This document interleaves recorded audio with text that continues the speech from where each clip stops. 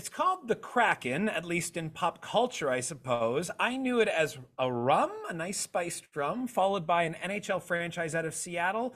But now the Kraken is making headlines for being an a subvariant of COVID. So tell me about how this one differs from what we've seen already. You're right. So not just an oversized sea creature, but um, so I'll be referring to it as uh, the Omicron XBB.1.5, which I recognize doesn't roll off the tongue. Uh, but really, what it is is a subvariant of one of the Omicron variants that we were seeing last year. So if you remember back to a year ago, kind of February, we had what we called the BA2 uh, variant of COVID, and this new one is a subvariant of that. And similar to what we were seeing last year, every time we had a new Omicron that came out, it was faster spreading. And that's what was most worrisome. And that's the same thing that we're seeing here as well. This one spreads even faster. This one is similar to the last ones, overtaking uh, the, the different types of the virus that are circulating. So we're seeing more and more of it. And that's what's the cause of concern right now. Now, I had heard, though, speculation saying that every time we do get a subvariant, the actual symptoms lessen, they're less severe. Is that at all true?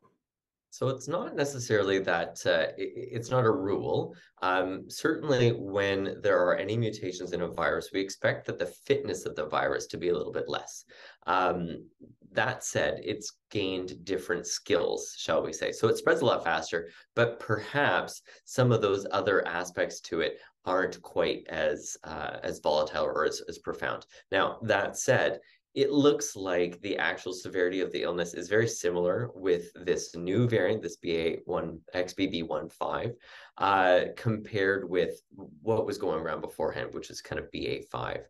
Um, so all that is to say, very similar virus, it seems, in terms of severity from what we saw, you know, a few months ago, but spreading even faster than before.